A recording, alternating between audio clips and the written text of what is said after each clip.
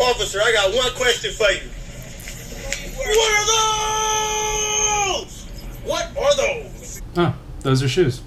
Yeah, those are shoes. And computers can see that those are shoes.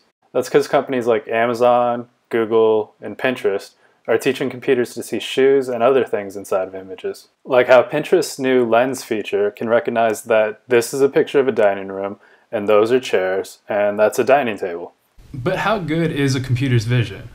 It's an important question because companies are using this technology to answer people's search queries and even target brands' ads.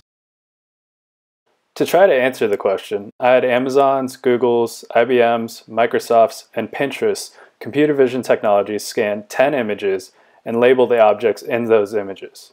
Here's what they saw.